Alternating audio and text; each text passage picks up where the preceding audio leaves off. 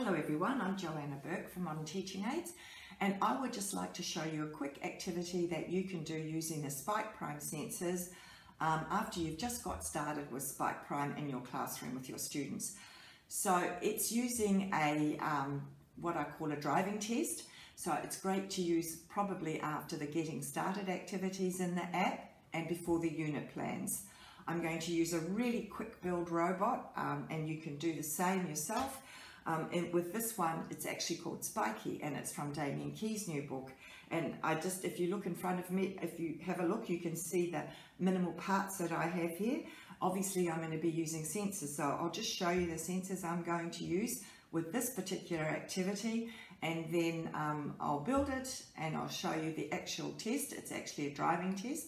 So the idea is they're going to get their L's um, in, with their Spike Prime sensors before they move on to the unit plans.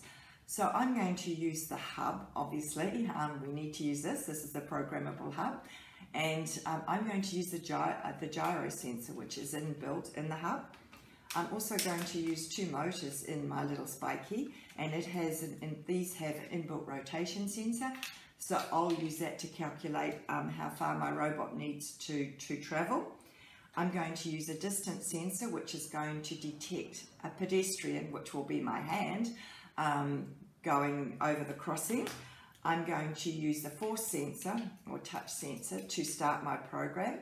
The force sensor actually measures newtons between 0 and 10 and I'm going to use the colour light sensor. I'm actually going to use the colour black to stop my robot at the very end. So in other words, it's as if it's going into its garage, it's going to reverse in.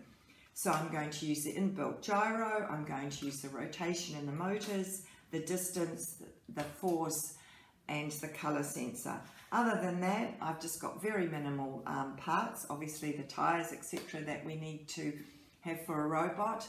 Um, and I do believe that if you've got any questions um, about the driving mat that I use, um, or we'd love to see your version of it, um, or anything else, please feel free to email us and we'd be happy to help. Thank you.